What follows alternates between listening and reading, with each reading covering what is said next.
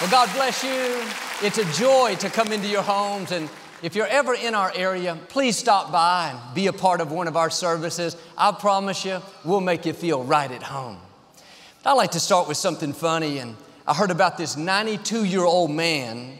He wasn't feeling up to par, so he went to the doctor. A few days later, the doctor saw him out in the park with a beautiful young lady by his side. He seemed as happy as can be. The doctor said, Wow, you sure are feeling a lot better, aren't you? He said, Yes, doctor, I'm just following your orders. You said get a hot mama and stay cheerful. The doctor said, I didn't say that. I said, You got a heart murmur. Be careful. he heard what he wanted to hear, but say it like you mean it. This is my Bible. I am what it says I am. I have what it says I have. I can do what it says I can do. Today I will be taught the Word of God. I boldly confess, my mind is alert, my heart is receptive, I will never be the same. In Jesus' name, God bless you. I want to talk to you today about God's got this. We all have things that come against us. It's easy to live uptight, wondering how it's going to work out. What if the medical report isn't good? What if my finances don't get better? What if my child doesn't get accepted in that school? We tried to figure it out. We've done our best, but we don't see anything changing. If we're not careful, we'll live worried, discouraged, not expecting it to get better. But there's a simple phrase you have to keep down in your spirit God's got this. He's on the throne, He sees what's happening, He already has the solution. You don't have to figure it out. There may not be a logical answer. In the natural, you don't see a way. That's okay. We serve a supernatural God. He has ways to do it we've never thought of. And instead of trying to force it to happen, living uptight, you have to let go and let God. When you turn it over to Him and say, God, I know you've got this. I know you're in control. Not only will you feel the heaviness, the weight lift off of you, but God will make things happen that you couldn't make happen. And some of the things that are frustrating you now, causing you to lose sleep, that would all change if you would have this new perspective that God's got this. Sometimes we're trying to play God. We're trying to make our boss promote us, make ourselves get well, and make the contract go through. But as long as we're trying to force it, living frustrated, worried, then God steps back. But when you take your hands off and say, God, I know you've got this. I'm not going to worry about my finances. I'm not going to live uptight because of the medical report. I'm not going to be frustrated because I haven't met the right person. God, I trust your timing and I trust your ways. My life is in your hands. God never promised that we wouldn't have difficulties, but He did promise He would give us strength for every battle. He would take what was meant for harm and use to our advantage. You may have a good reason to worry about something in your health, your finances, a dream. You've done everything you can. Doesn't look like it's going to work out. Stay in faith. God is saying, I've got this. I'm working behind the scenes. I'm in the process of turning it around. It's just a matter of time before you see things change in your favor. Now, live out of a place of peace, a place of trust. It may not happen the way you thought, but God's ways are better than our ways. God knows what's best for you. He's got this. In the scripture, a young man named Daniel worked for King Darius. The king loved Daniel. Daniel was so good at what he did, the king was going to put Daniel in charge of his whole empire. But when the other leaders heard this, they were jealous. They came up with a plan to get rid of Daniel. When you excel, when your gifts come out in great ways, don't be surprised if people get jealous. Everyone is not going to celebrate you. Some people will try to find fault and hold you back.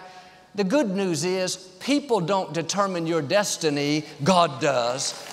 Keep being your best and let God fight your battles. Don't get distracted trying to prove to them who you are. God will be your vindicator. God will take care of your enemies. And these people that were against Daniel tried to manipulate the king. They said, King, you're so great. We've written a decree that for the next 30 days, no one can pray to anyone except you. If they do, they'll be thrown into a lion's den. They did this because they knew Daniel prayed to Jehovah. They convinced the king to sign this decree, but that didn't change Daniel.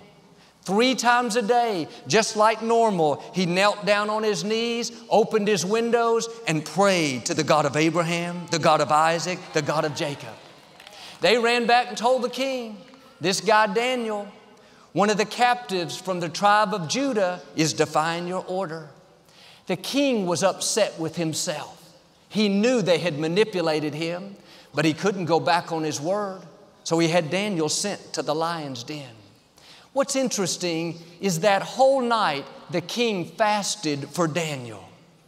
And when you're in difficult situations, God has people praying for you that you don't know anything about.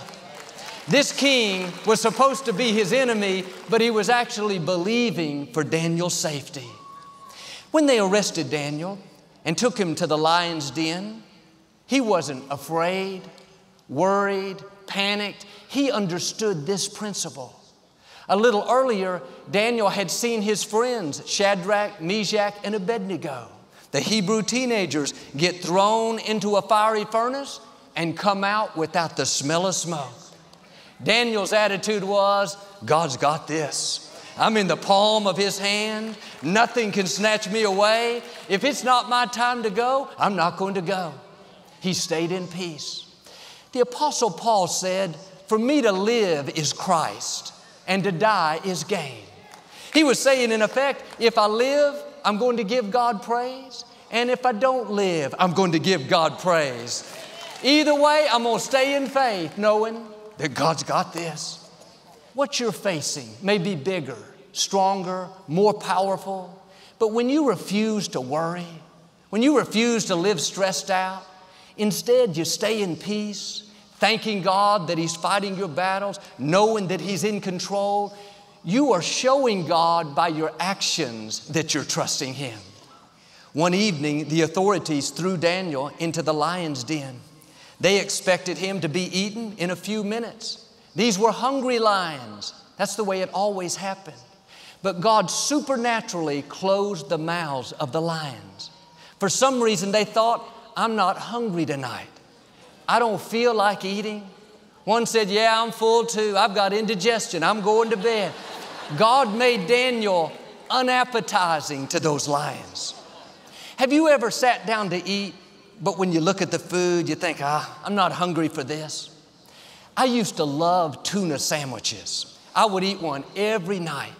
And a few years after we were married, I'd had a virus for a day or so, and I was just getting over it.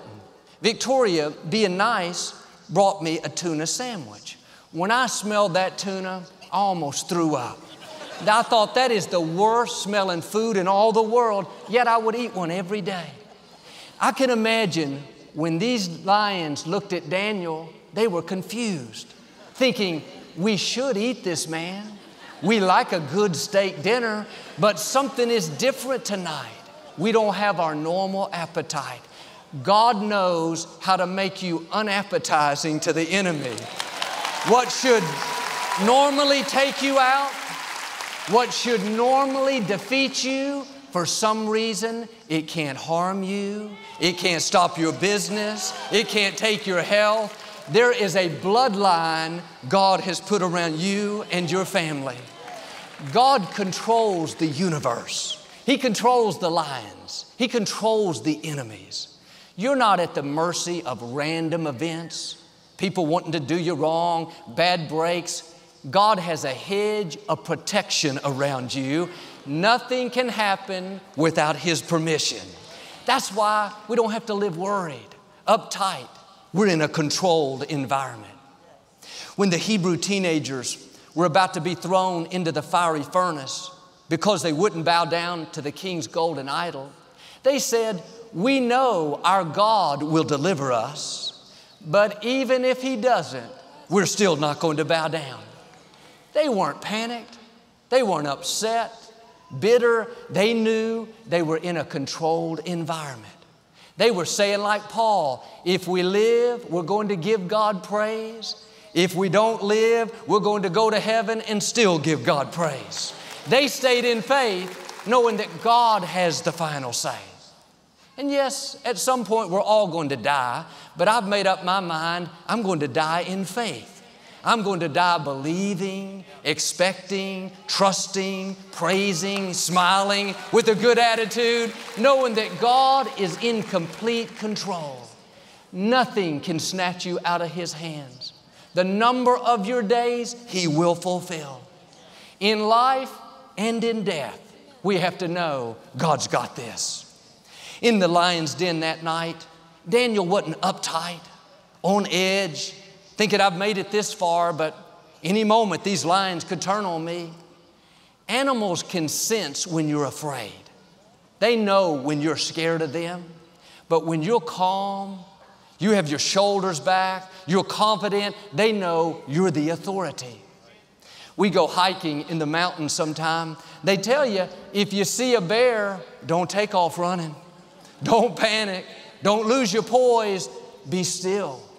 Be calm. Carry yourself with a quiet confidence. In the same way, when you face enemies in life, the enemy of sickness, the enemy of addiction, the enemy of debt, those enemies can sense when you're afraid of them. They'll take more ground. That's why the scripture says, give no place to the enemy. But when they see you standing strong, thanking God when you could be complaining, being good to people when you could be bitter, at peace when you could be panicked. You are sending a message to those enemies that says loud and clear, You have no power over me.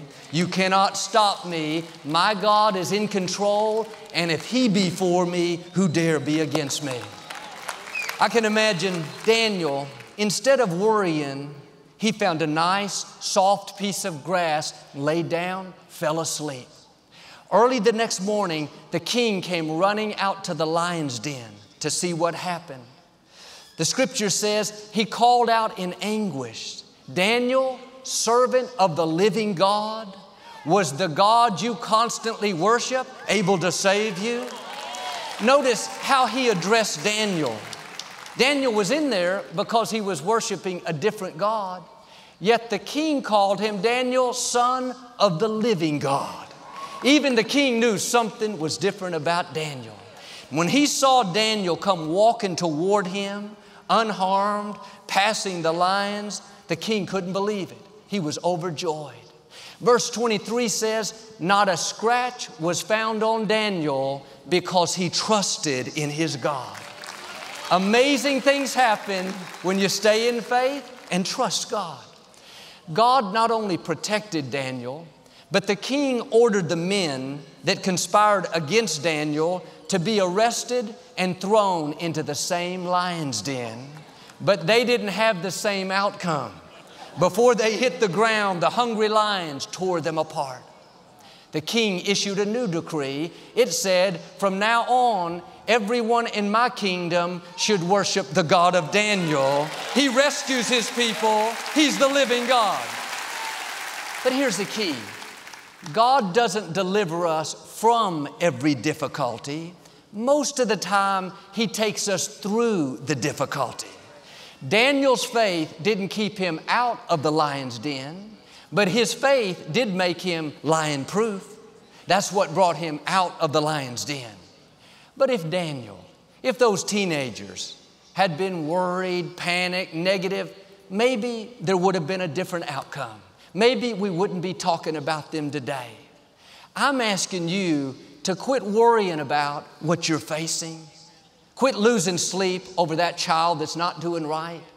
Quit being upset because somebody did you wrong. Your dream hasn't come to pass yet. Can I tell you, God's got this. Like He did for Daniel, He's going to make a way where you don't see a way.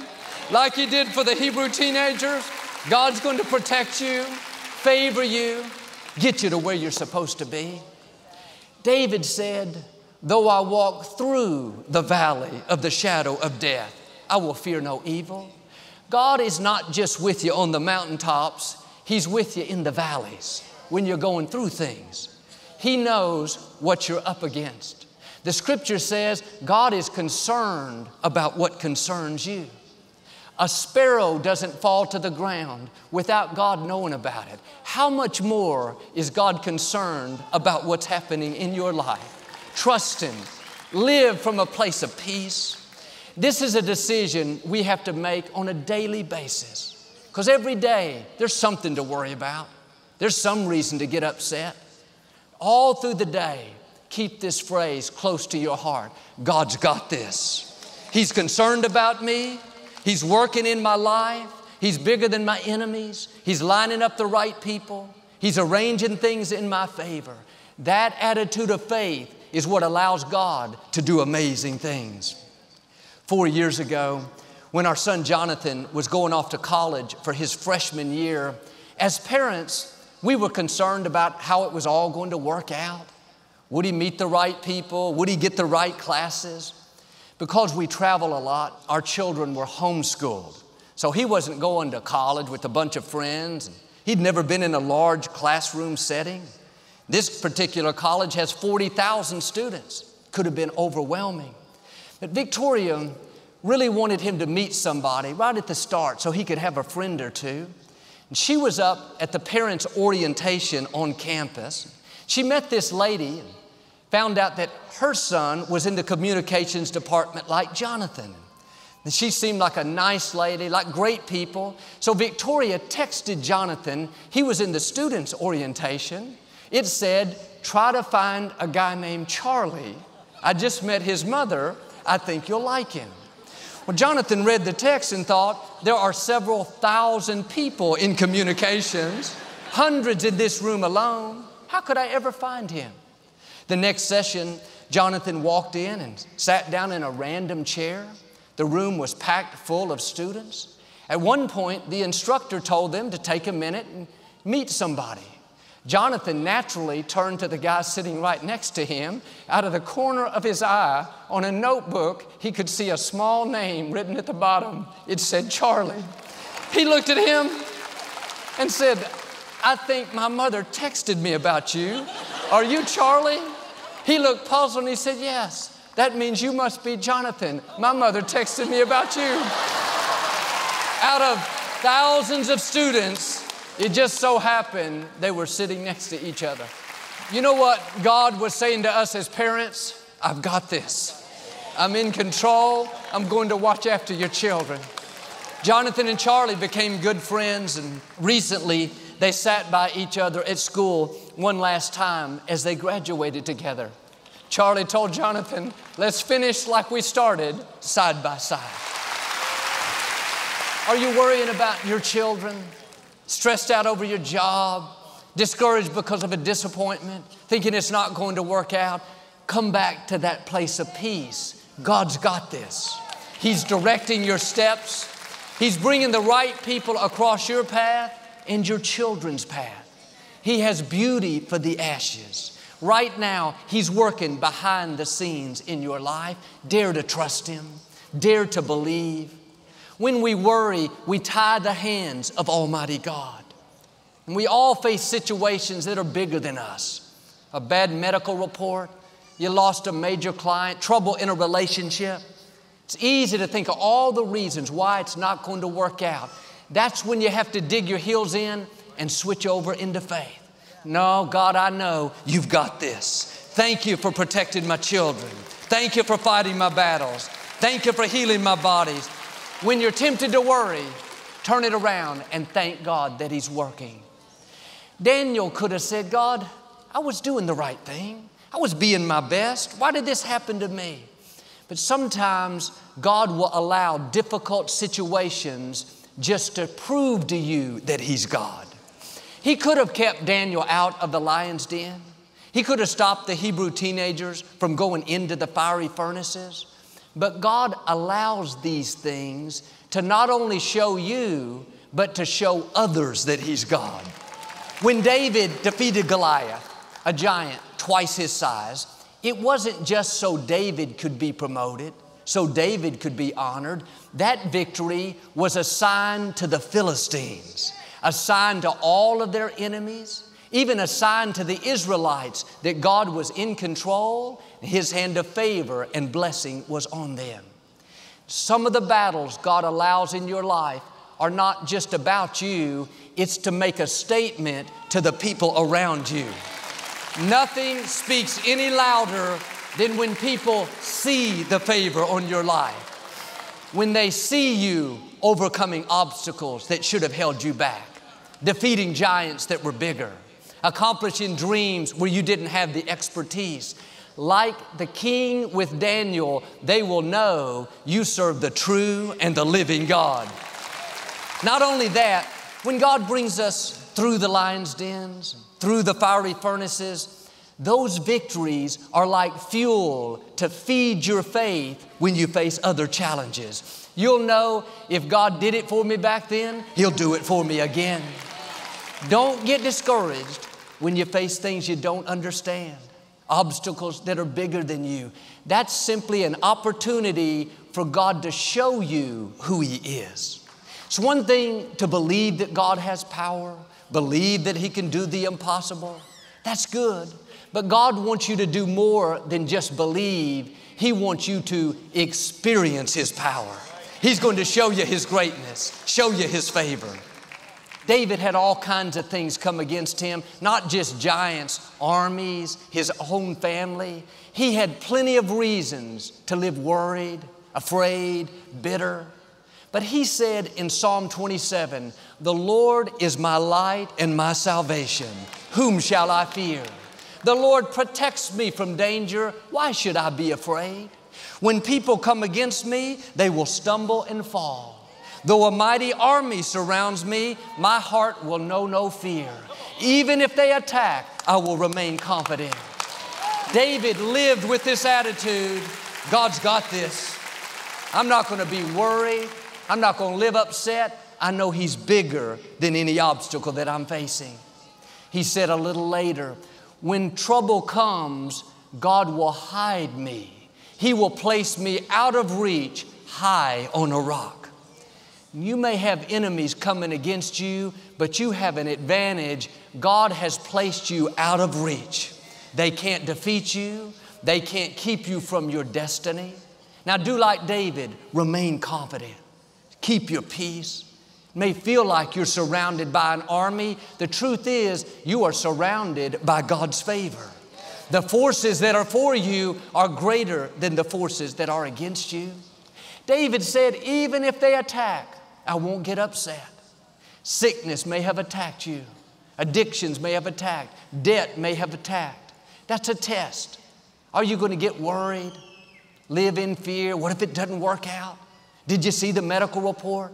There are 40,000 students. What if he doesn't meet the right people? Stay in peace. Remain confident. God's done it for you in the past. He's going to do it for you again in the future. In a few verses, David said, I am confident I will see the goodness of God.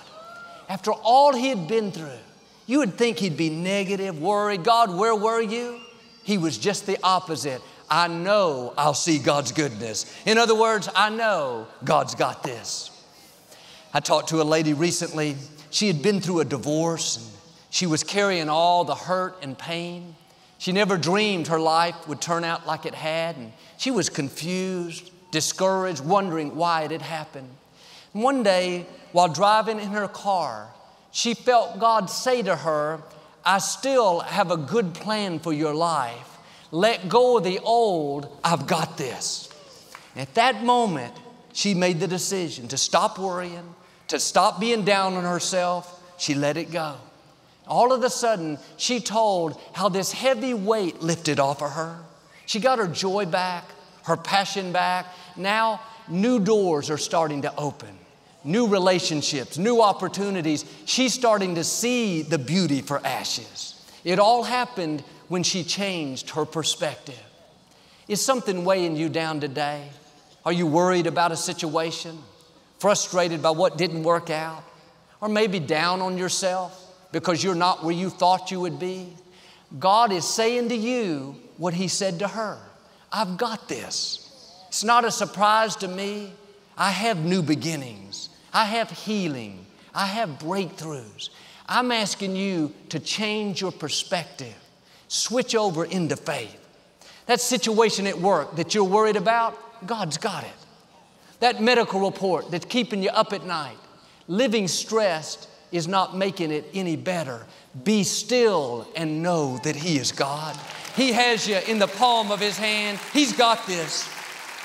And yes, you may have enemies coming against you, but like Daniel, God has placed you out of reach. He's made you lion proof. Now, all through the day, when you're tempted to worry, keep this phrase playing in your mind God's got this. If you'll do this, I believe and declare you're going to see God's goodness in new ways. You're going to come out of the lion's dens, rise higher, accomplish dreams, and become everything God's created you to be in Jesus' name. If you receive it, can you say amen today? I'd like to give you an opportunity to make Jesus the Lord of your life. Would you pray with me? Just say, Lord Jesus, I repent of my sins. Come into my heart. I make you my Lord and Savior. If you prayed that simple prayer, we believe you got born again. Get in a good Bible based church and keep God first place.